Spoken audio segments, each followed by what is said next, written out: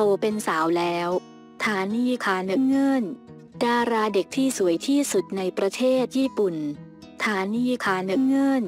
ดาราเด็กที่ขึ้นชื่อว่าสวยที่สุดในญี่ปุ่น ฉายแววความแบ้วน่ารักน่าเอ็นดูมาตั้งแต่อายุสามขวบ ในผลงานละครสร้างชื่อจากเรื่องนามิโอนาคาชิทาเมคามิฟูทาราเทลเคิลโปวีดีสุนทดาว และ ไอเฮททาคาโย 2013 เป็นต้น ด้วยความน่ารักของเด็กสาว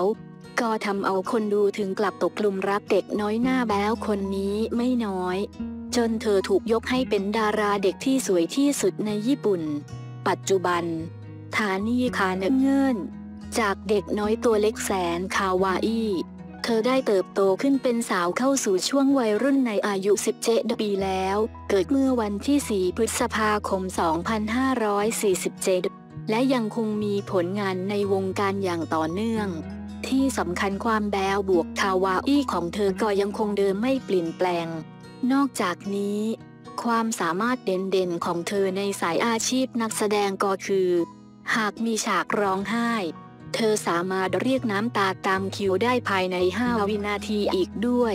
เยี่ยมจริง ๆ เลย แม้ว่าตามรายงานข่าวบันเทิงของญี่ปุ่นจะมีรายงานว่า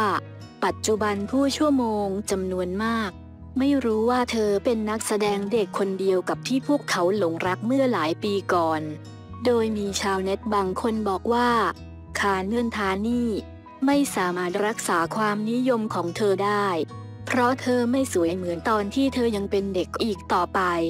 ในขณะที่ชาวเน็ตบางส่วนก็บอกว่ามีโอกาสที่เธอจะได้รับความรักความเอ็นดูจากผู้ชั่วโมงได้เหมือนเดิม เพราะเธอยังคงเป็นนักแสดงที่ดี และสิ่งหนึ่งที่เห็นได้ชัดเจนเลย